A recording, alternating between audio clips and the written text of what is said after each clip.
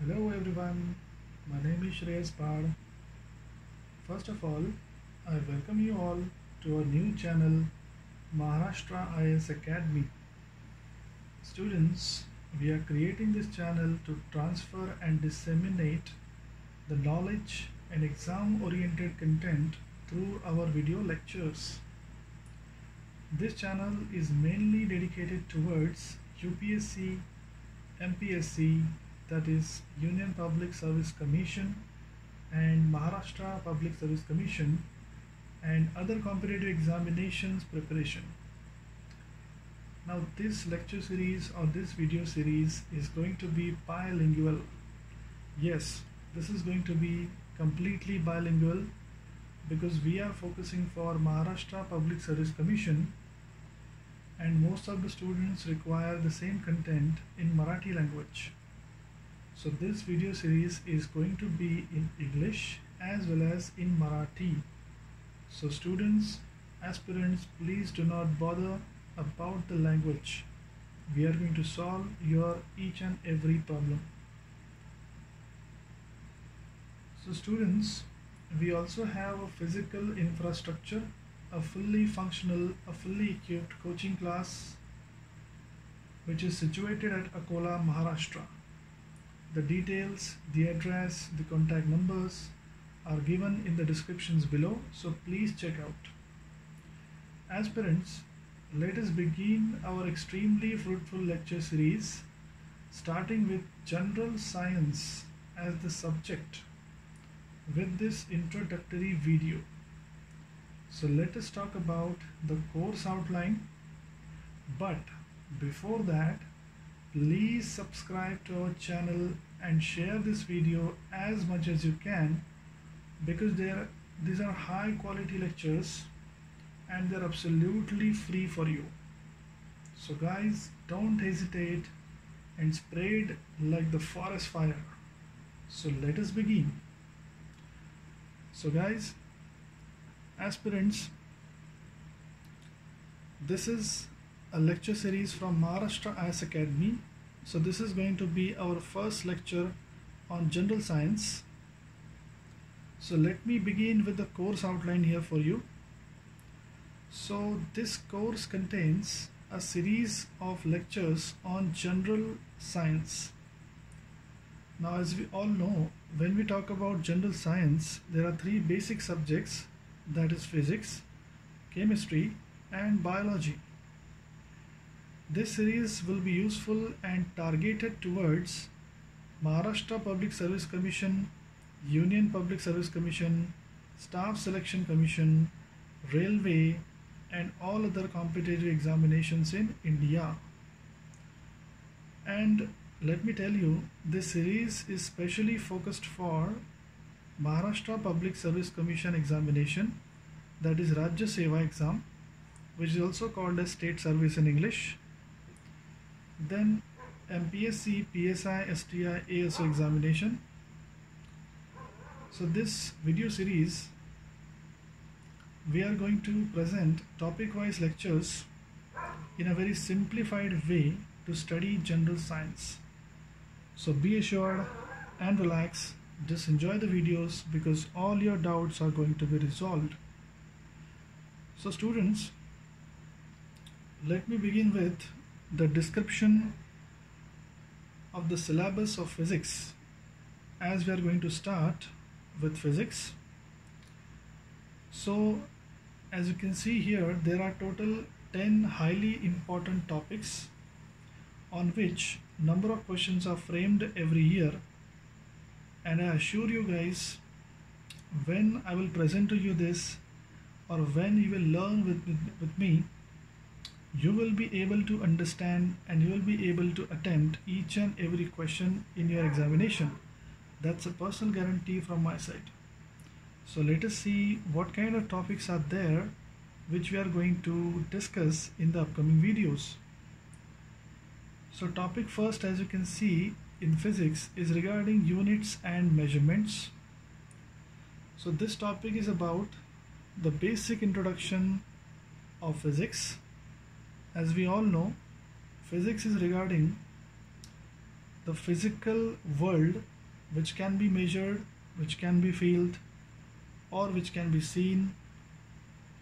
So, this chapter contains the topics like different units, different physical quantities, just like the scalar quantities and vector quantities, or what do you understand by the units which can be fundamental or derived. Then, what are various kinds of the derived units? For example, ampere or let's say force or velocity or speed so this can be called as physical quantities and they have their units so this first topic is going to be a very basic introduction of physics followed by the second topic motion types and laws so in this second chapter we are going to deal with the concept of motion as in physics, things are studied when the object is steady or when the object is in motion. So there are different kinds of laws which govern these both aspects. So we will study this in details so that your each and every doubt shall be resolved. Then topic 3 is about gravitation, a very interesting chapter. So gravitation covers various important concepts regarding the gravity of earth that how we have understood the gravity and how we have controlled that gravity for betterment of our lives so this chapter contains different laws just like the universal law of gravitation which was put forward by newton then different kinds of the formulas and their derivations which are extremely extremely important for all competitive examinations. After that, we will talk about topic number four that is energy, work, and power. So, this chapter is also the basic understanding of key concepts like the concept of energy, the types of energy, which could be potential or kinetic, definition of the work system, definition of power, and the calculations. Topic number five is regarding pressure and associated laws. Topic number 6 is regarding the basic concept of sound. Topic number 7 is associated with basic concept of light. Topic number 8 is linked with current electricity. Topic number 9 is linked with magnetism. And topic number 10 is connected with electromagnetic spectrum. So these 10 topics are highly highly important guys. With all my experience and all hard work, I came with these 10 topics. If you study these 10 topics religiously, I assure you guys you can attempt each and every question of whatsoever exam you give. So that's a promise. So followed by the syllabus of physics, let me discuss the syllabus or the topic contents of chemistry followed by biology. So let us now talk about the next subject which we are going to cover which is biology. So friends as you can see here we are going to discuss the same important and highly valuable topics of biology. Now friends as biology is a very different subject as to physics we must understand the frequency of the subject. And to understand the frequency of the subject, we should be thorough with the syllabus content. So let me begin with the first topic in our video series that is the study of cell. So friends, we are going to study the basics of cell followed by the basics of tissues. So here we are going to discuss their different kinds of the types. We are also discussing their classification which is also very very important. So these first two chapters create the basic format to study biology after that, we will shift our attention towards biodiversity. So biodiversity is a chapter regarding the enormous wealth of plants and animals. So this chapter is regarding the nomenclature, the study, the classification, then the name of various scientists, their attempts, and various things. After that in biology, we will talk about in detail the plant classification followed by animal classification. So these two chapters are also extremely valuable in all competitive examinations because these chapters are quite tedious to remember. So definitely all the commissions, all the bodies are going to test your knowledge, they are going to test your recall value, memory value, and whatsoever. After that, in biology, we must focus on this subject which is nutrition. So, when we talk about nutrition, here I mean I'm talking about biomolecules. So, what are biomolecules? Biomolecules are nothing but carbohydrates, proteins, fats, vitamins, and minerals. So, these biomolecules, which are extremely important for our health, which make us sustain our lives, that's why they are referred as nutrients. So, we are going to study in detail about the nutrients in this chapter. We will study what do we exactly understand by carbohydrate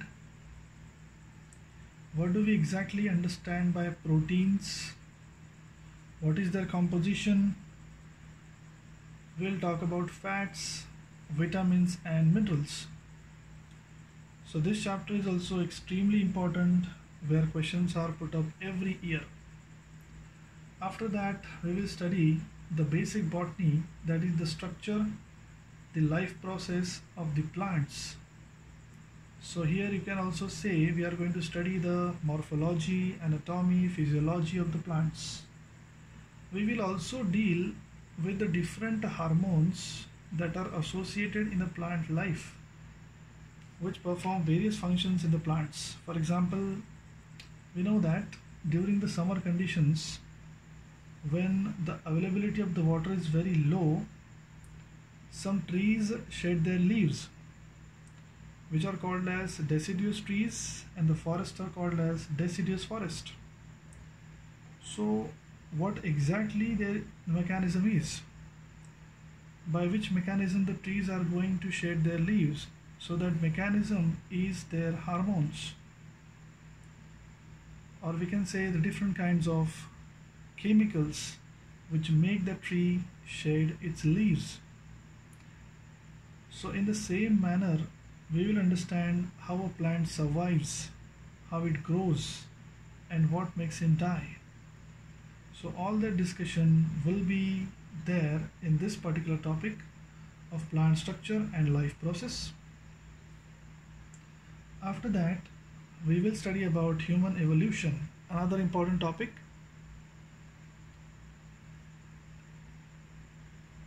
Now, after human evolution, we are going to focus on another important aspect which is life processes so this aspect is regarding human anatomy and physiology which is extremely important for any examination. So this segment contains the organ systems which are located inside a body that are extremely important for the well-being and functioning. So what kind of systems do we have? As you can see we have human circulatory system which contains the heart, the blood vessels, even the blood. We have a respiratory system which makes us alive by maintaining the supply of oxygen. Then we have excretion system to drain the body with all kinds of toxic waste followed by digestion system. Then we also have a control and coordination system which has two parts neural coordination and chemical coordination. So this is extremely important neural and chemical coordination. When I say neural coordination I'm talking about the spinal cord the brain CNS and PNS and whatnot. Okay. And when we study about the chemical coordination, I'm talking about different kinds of enzymes in the body as well as different kinds of hormones. So this is also a very important chapter, obviously, which is followed by the human skeletal systems, where we can study different kinds of the bones, the structure, the joints, the types, etc. etc. And last but not the least is the reproductive system. So these are going to be highly valuable topics guys. If you study these topics of biology, you're definitely going to attempt all the questions of the examination. You need not study in details, but it should be exam specific and that is our entire motto. Now followed by biology, allow me to discuss the next subject of this video series which is going to be chemistry. So as I'm saying again and again, I have put forwarded all these topics which are extremely valuable for your preparation. So just like physics and biology, I would be repeating the same thing.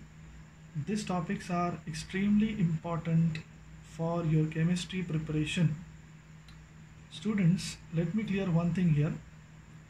The topics which I am discussing in this video lectures is not oriented towards the entrance examinations like NEET or JEE because those examinations it needs a detailed study of all these topics but when we talk about UPSC, MPSC, staff selection, railway examination and group C, group D examinations this examination does not require that kind of specialized knowledge or detailed knowledge.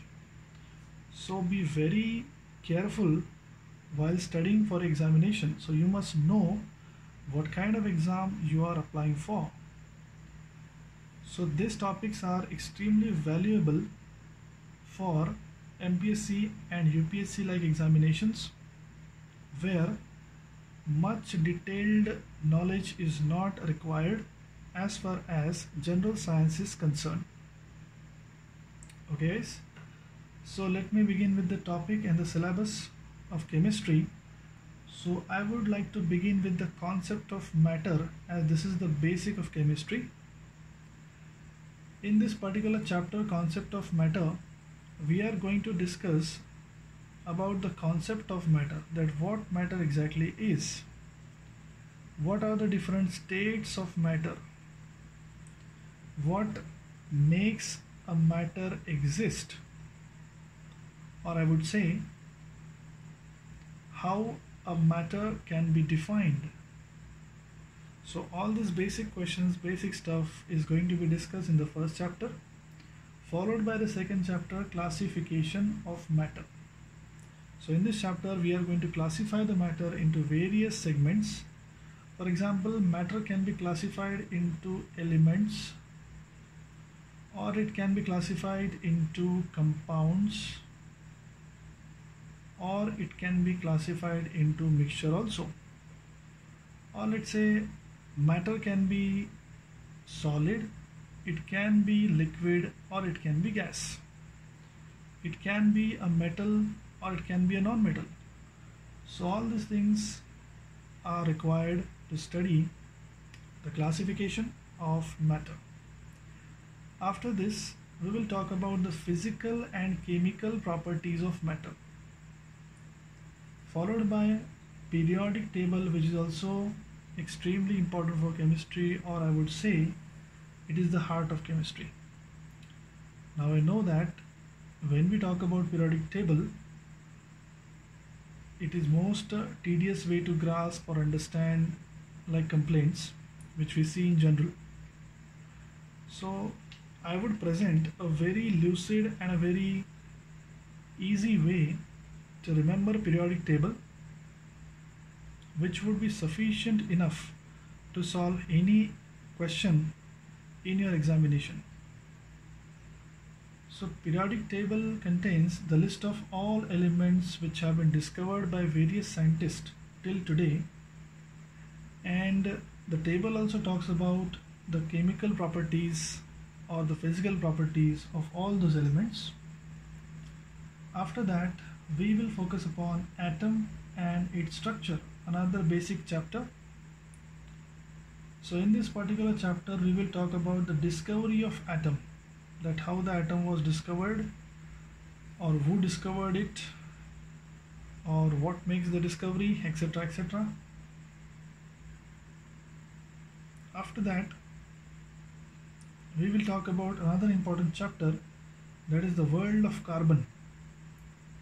So carbon is an extremely important element which is present almost everywhere.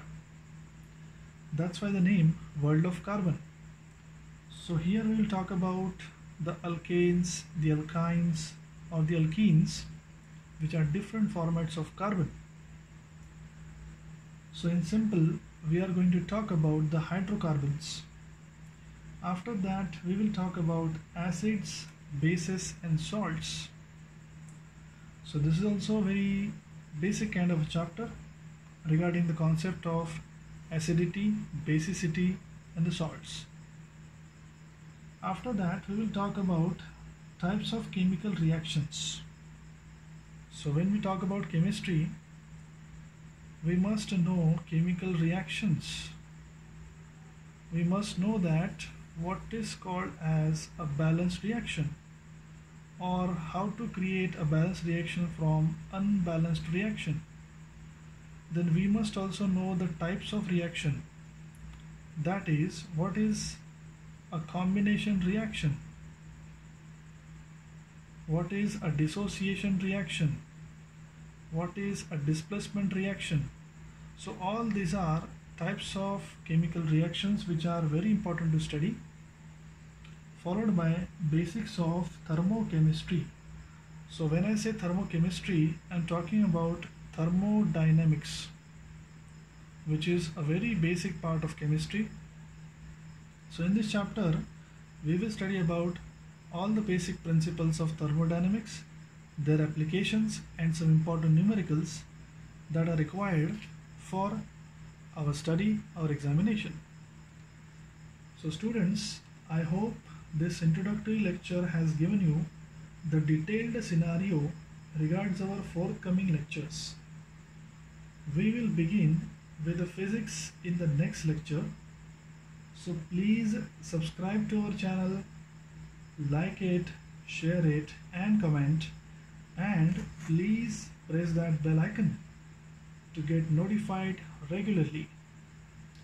So guys, thank you so much for listening. Stay tuned, stay updated. Thank you so much.